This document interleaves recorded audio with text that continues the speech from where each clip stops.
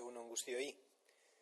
E, gaur, iragarri nahi dugu, lege proposamen bat aurkeztu dugula, lege biltzarrean, animalien ongizatea eta babesa ziurtatzeko. Indarrean dagoen legea, e, larogeita mairutik datorkigu, eta hogei urte geroago, edo hogei urte igarota gero, pentsatzen dugu eguneratzeko garaia badela.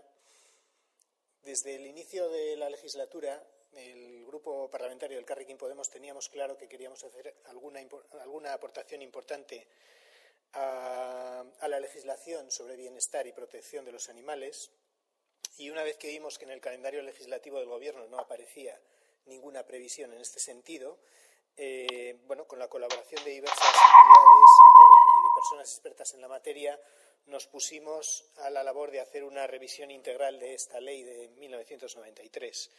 Y el resultado es que, eh, bueno, el pasado mes hemos presentado, las pasadas semanas hemos presentado y hemos registrado un texto que es una ley nueva que viene a actualizar esta ley del año 93. También desde el principio, tengo que decir, hicimos partícipes de nuestras intenciones al resto de grupos parlamentarios y al propio Gobierno vasco.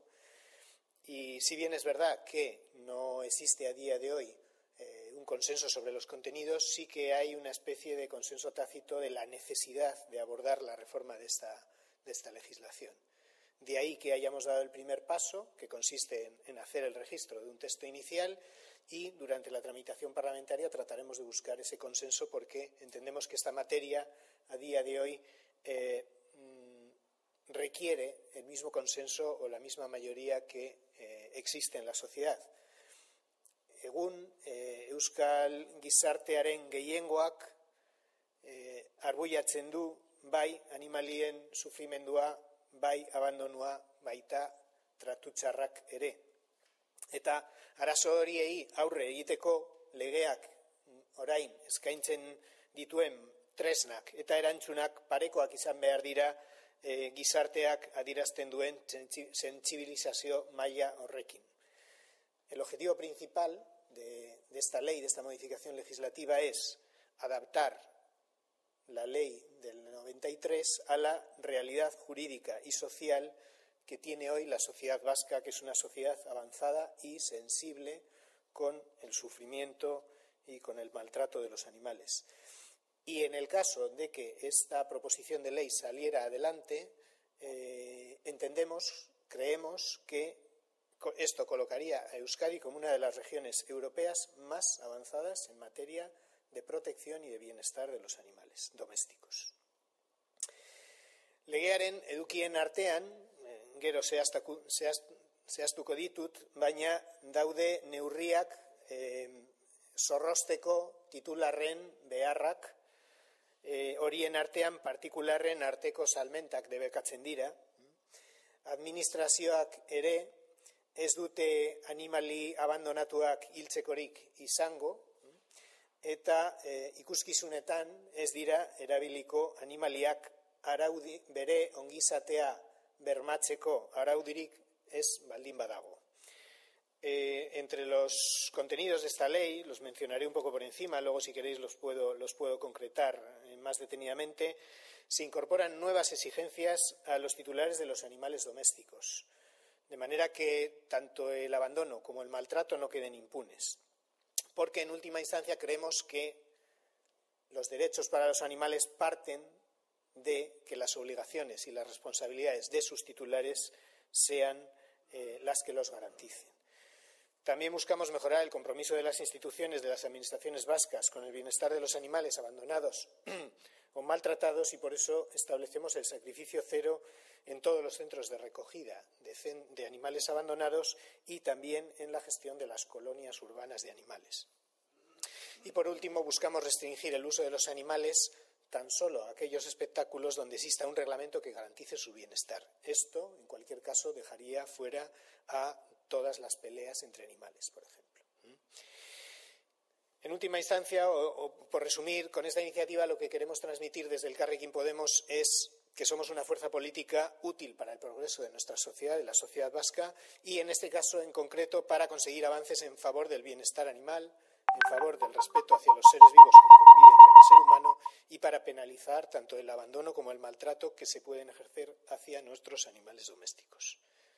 Y ahora cualquier pregunta que tengáis. Sí, yo quería plantearle tres eh, situaciones que no ha mencionado.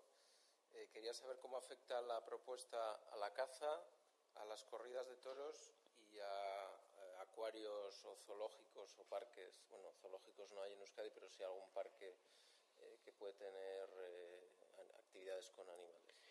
Eh, cuando nos planteamos modificar la ley, mm, una de las cosas que sí que no nos planteamos fue modificar su ámbito ahora mismo de actuación. Entonces, tanto la caza y la pesca como los espectáculos taurinos regulados tienen sus propias leyes. En un caso, la ley de caza y pesca vasca, en otro caso, en otro caso es una ley de ámbito estatal. Entonces, no nos, no nos parecía adecuado y nos parecía que eso iba a dificultar el consenso que sí existe sobre eh, el bienestar y sobre la protección de los animales domésticos. Por lo tanto, esta ley no afecta ni a la caza y pesca ni a los espectáculos taurinos. Eso no quiere decir que haya determinados colectivos, estoy pensando, por ejemplo, en, cazadores y pescadores, que en un momento dado pues, puedan hacer sus aportaciones como el resto de colectivos, como el resto de entidades eh, pues que se puedan sentir afectadas por, esto. Pero no afecta a aquello que está regulado ahora mismo en caza y pesca y espectáculos taurinos. En lo que respecta al caso de zoológicos y demás, eh, teniendo en cuenta que los zoológicos son eh, núcleos zoológicos, eh, igual que lo son todos los establecimientos que se dedican a la producción de animales para consumo, tienen sus propias regulaciones y eh, esta ley solamente les afectará en un sentido supletorio, en aquello que no esté regulado en sus normativas sectoriales de aplicación. Esto incluye granjas, etcétera. Hay, unas normativas sobre salud y bienestar de animales que se encuentran en centros de producción o en centros zoológicos, en núcleos zoológicos, perdón, y entonces esta ley les será aplicación solamente de forma supletoria. Eh, tendríamos que mirar las particularidades, pero en principio, en principio eh, no les sería de no les sería de aplicación en aquello que ya tengan regulado teniendo en cuenta que los puntos más polémicos eh, quizás sean precisamente las corridas de toros o incluso la situación de la caza sobre la que también hay debate, eh, ¿no cree que si esta propuesta no accede a esos ámbitos se puede quedar un poco coja y, que genere una situación de incoherencia? Eh, aquí tenía, aquí tenía, a, la hora, a la hora de abordar esta cuestión teníamos dos cuestiones. Una, o avanzábamos en, en asuntos que generasen el suficiente consenso, y yo creo que entre los grupos parlamentarios en la cuestión de los animales domésticos la hay, incluso el gobierno vasco en las conversaciones que hemos tenido con ellos nos ha mostrado que, por ahí se podía avanzar. Eh, ligarlo, hacerlo todo junto, como ha sucedido en algunas comunidades autónomas y demás, nos, llevaba, nos podía llevar a una situación de que ni, ni mejorásemos la situación de los animales domésticos ni, la, de los, de los otros. Eso por una parte. Pero también es verdad que en las conversaciones que hemos tenido con muchas entidades y muchos colectivos de protección de los animales o animalistas, lo que nos han transmitido es que el día a día del maltrato animal, del abandono, de la, mala situación de los animales, no viene dado por los espectáculos taurinos, que son, limitados, sino por los cientos, miles de perros, de gatos, eh, de vacas, de burros, de caballos que pueden estar ahora mismo pues, pues en una situación de maltrato, de abandono, de malnutrición, de sufrimiento, y que es el día a día con el que se están encontrando estas entidades. ¿no? Entonces, a las propias entidades les pareció razonable, a la mayor parte de ellas, claro, lógicamente siempre habrá, siempre habrá quien no piense lo mismo, eh, hacer una distinción y tratar de avanzar por lo menos en todo el ámbito de los animales domésticos. Y estoy, estoy reiterando la cuestión de los animales domésticos porque en la ley se diferencia claramente los animales domésticos de los animales de compañía. Hay muchas leyes en comunidades autónomas que se están restringiendo a los animales de compañía. Y cuando yo he dicho los animales de producción o renta, es decir, eh, vacas, cerdos, ovejas, caballos, burros, que en un momento dado salen de la cadena alimentaria, es decir, dejan de estar en granjas, pero pertenecen a particulares, ahora mismo había un vacío legal importante. Y esos animales son animales domésticos, pero que en un momento dado han dejado de tener la consideración de animales de producción y que, sin embargo, se quedan en un limbo legal que les hace objeto de poder ser, eh, bueno, poder ser objeto de situaciones de maltrato y demás. Entonces, eh, quiero recalcar que esta ley es para todos los animales domésticos y que, por lo tanto, es un avance. No estamos hablando solamente de perros, gatos, canarios y tortugas. Estamos hablando de animales domésticos, no animales de compañía.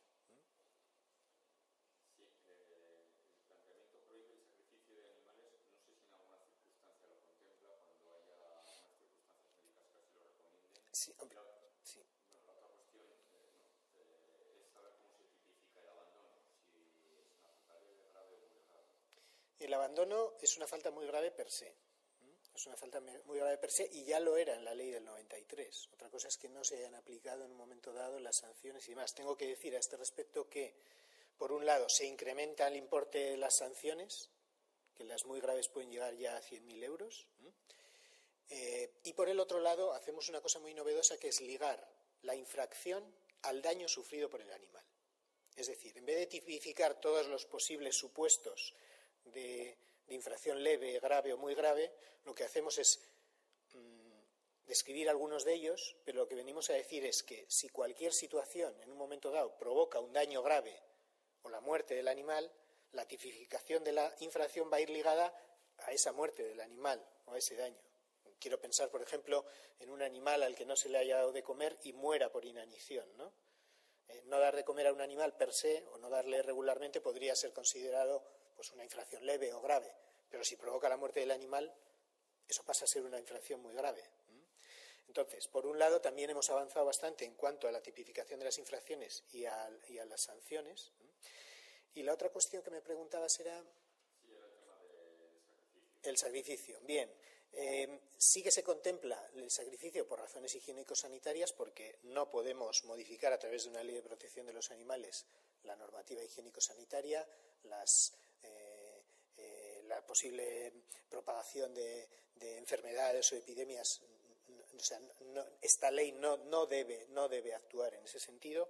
También se contempla un supuesto muy particular que es el abatimiento en la vía pública, se dice que se da en última instancia, pero eh, si estamos pensando en animales muy, muy grandes, eh, de un tamaño muy grande, que no pueda ser abatido por, métodos anestésicos y demás, se contempla la posibilidad de tomar esa decisión.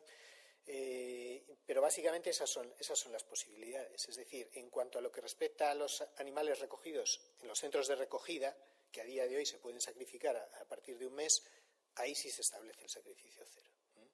También se dan una serie de, de instrumentos a las administraciones para que puedan eh, recaudar el dinero necesario para sufragar los gastos de esos centros y eh, se restringen mucho las medidas para ser titular de un animal. ¿eh? En este sentido, se restringe mucho la cría, la venta entre particulares se prohíbe, porque entendemos que al final lo que está llenando los centros de recogida es precisamente ese descontrol que hay en cuanto a que cualquiera puede tener los animales que, eh, quiera eh, con unos requisitos mínimos. Lo están pidiendo las propias asociaciones animalistas, que para no llenar los centros de recogida lo que hay que hacer es eh, restringir o hacer más, más férreo el control sobre los particulares y su gestión de los propios animales, porque en última instancia lo he dicho ahora en la rueda de prensa, los derechos para los animales recaen sobre todo en quien ostenta su titularidad. Es, esa persona la que ejerce el maltrato y la que ejerce el abandono, ¿no?